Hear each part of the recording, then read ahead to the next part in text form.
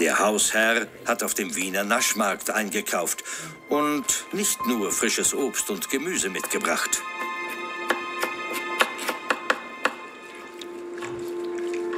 Eine Küchenschabe startet ihren Eroberungszug.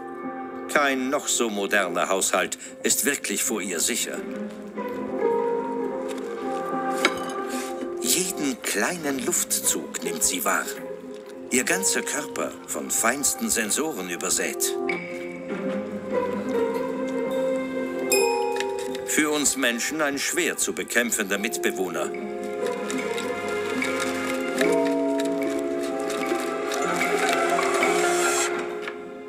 So wie sie.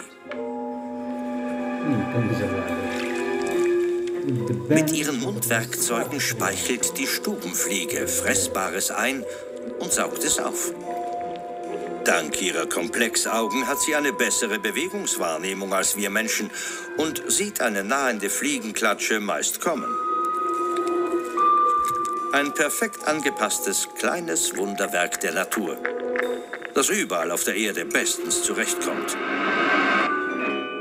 Auch wenn wir Menschen uns nicht immer für sie begeistern können.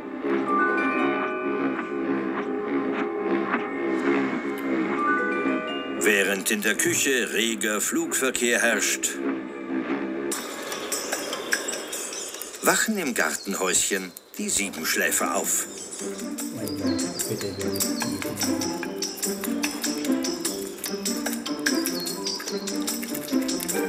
Wer sich ärgert, dass die eingelagerten Äpfel angeknabbert sind, sollte nicht immer gleich Mäuse verdächtigen.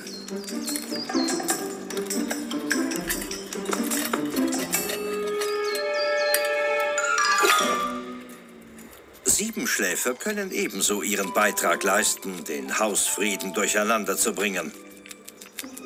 Im Sommer fressen die kleinen Nager gern Obst und Knospen. Später im Jahr mehr fettreiche Nüsse und Bucheckern, um ihren Winterschlaf zu überstehen. Tatsächlich halten Siebenschläfer in der Wildnis länger als sieben Monate Winterschlaf, also müssen sie gut vorsorgen.